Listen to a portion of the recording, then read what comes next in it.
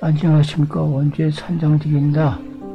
오늘은 세트장에 장만하는 딱새집 세, 세 개하고 통화받은 동줄 찾아다녀 봤습니다.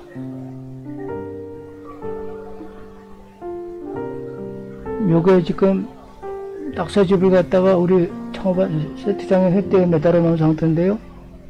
세 개를 해놨습니다. 이렇게 매달아 놨습니다.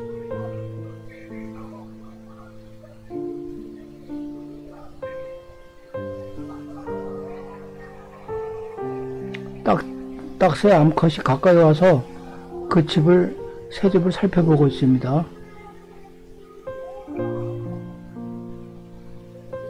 이리저리 아주 꼼꼼하게 살펴보네요. 여기는 지정면 보통리에 있는 청어반세 동지입니다.